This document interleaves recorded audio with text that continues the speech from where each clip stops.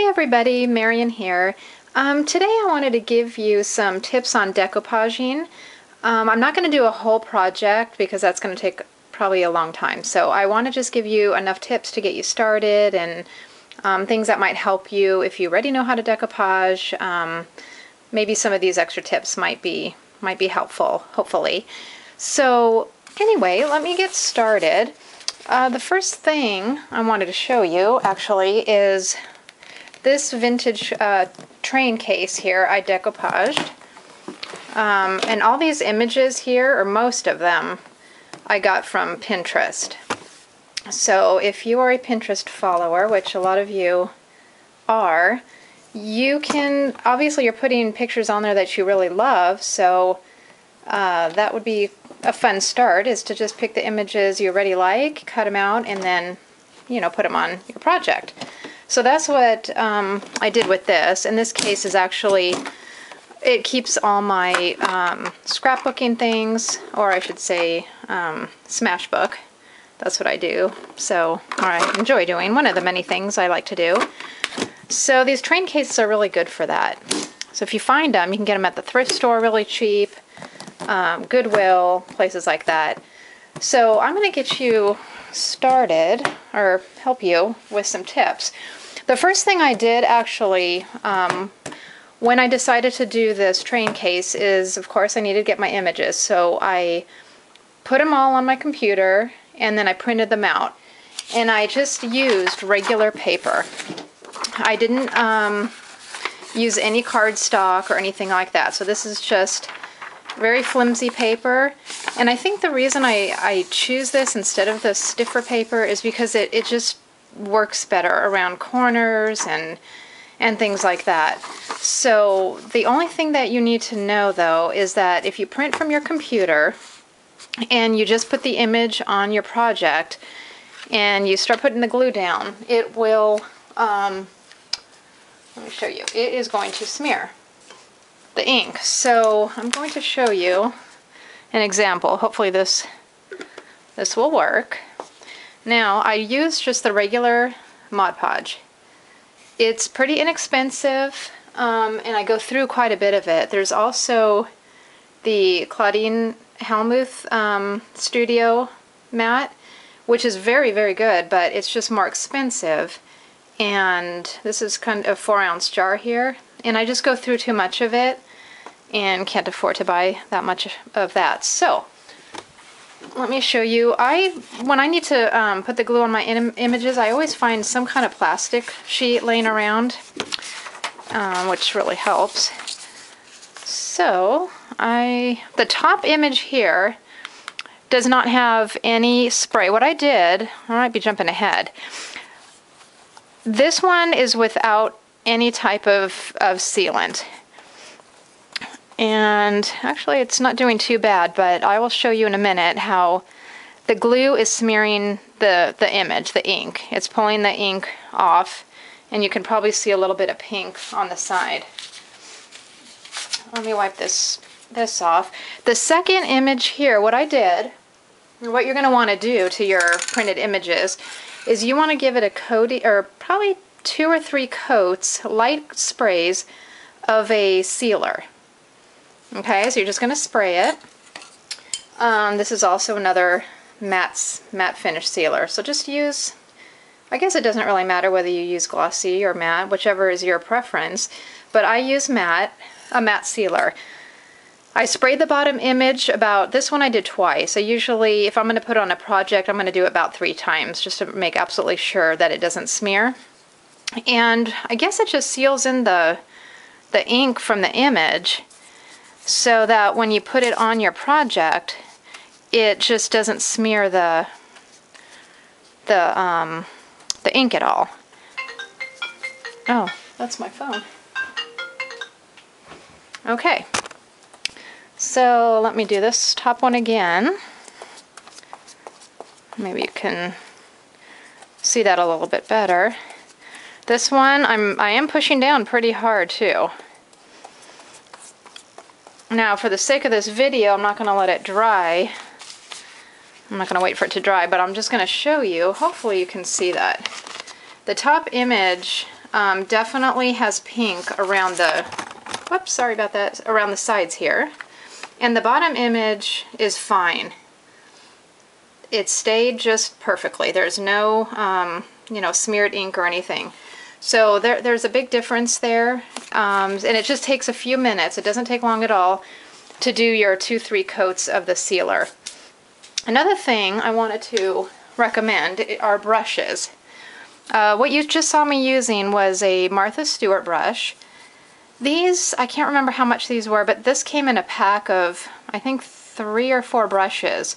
It's a little bit more expensive, but it lasts so long. And glue just gets really sticky and messy. Um, yeah, I wash out my brushes really good, but still, they, they go through a lot when you're gluing with them.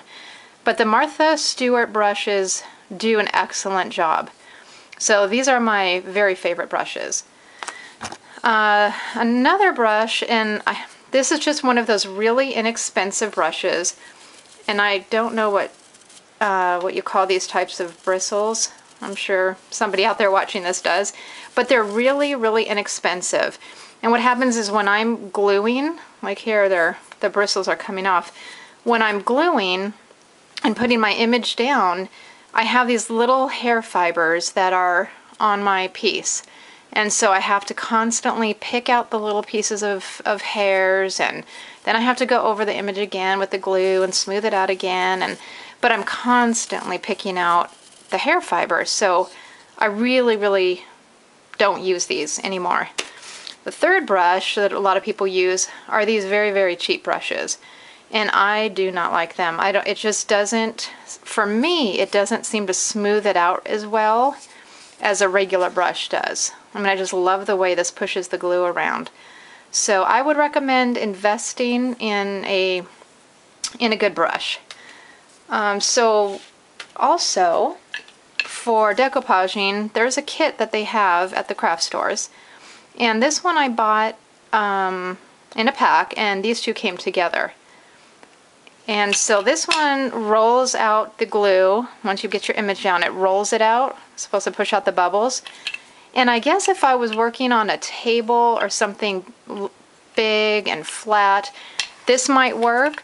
But sometimes the roller stops moving and there's some glue on here and it just kind of gets stuck and it doesn't seem to work for too long. So I end up going to this little thing here. It's, it's rubber and it has kind of an angle tip right here.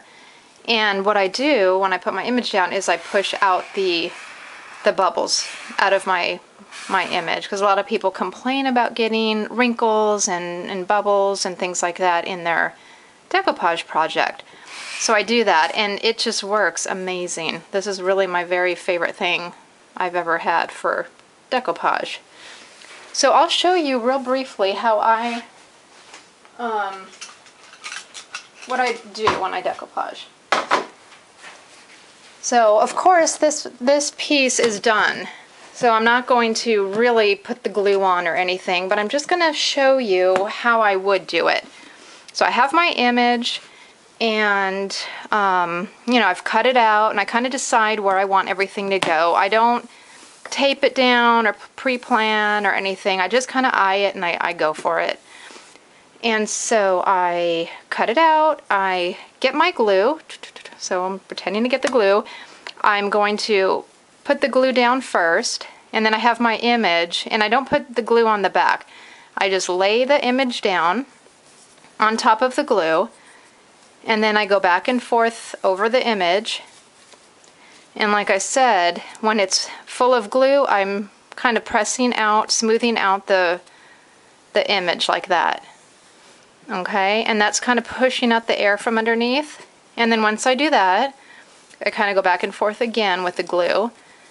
And then as it dries, not when it's completely dry, but when it's in that in-between stage, you still will get these little bubbles or wrinkles. And oftentimes if I just kind of work it with my finger and I just push it out, it, it gets rid of the rest of the, the bubbles. So you can still do that as your project's drying. And then once my images are all on, then I take my glue again get it, you know, tons of glue on there, and I really give it a nice thick coating over the entire thing. Even where there's no paper on my actual um, train case here, the glue's going over the entire piece. So it really is giving it a good finish. Um, and I do that probably, I would say two, three times, you know, however much you want, but, but this is all glued down pretty well. I mean, it's not gonna come up. And so if you do have, you know, places that come up, then all you do is just get some glue in that corner, wherever, and then push it down with your thumb. Um, you know, whatever, whatever you need to do, and then just push down, and it will glue nice and flat for you. So that's basically how I get my images it, images down. It's really easy. And it goes pretty fast. And this one was, was easy because I have spaces in between. And what I mean by that, let me show you. This is a suitcase I did. I don't know if you can see the whole thing, but this is a suitcase I did, and with this one, the images are side by side. I, I left no spaces on each side of the suitcase here, so everything is completely covered by an image.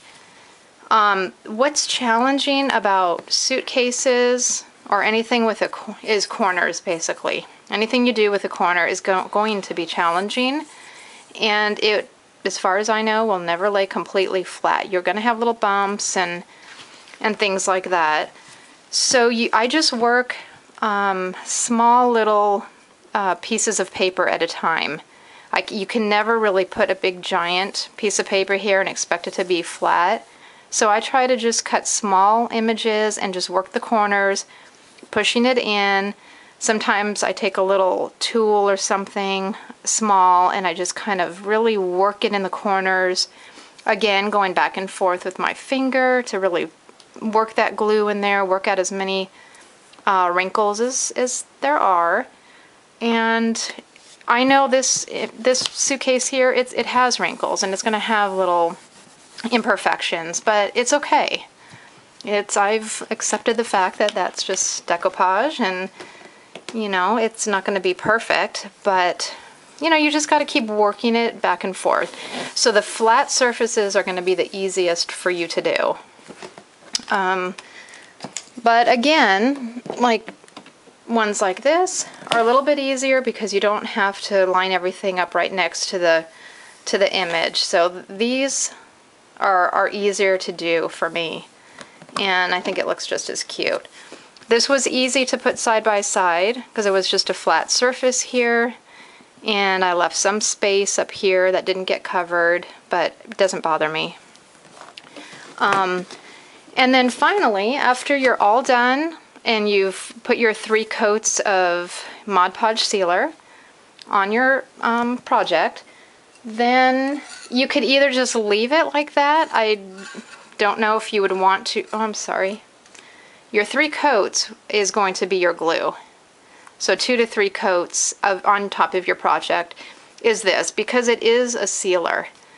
So you really don't need to come along afterwards and put a spray over it or anything, unless you really want to, but I don't really know why you would have to because the Mod Podge glue already acts as a sealer.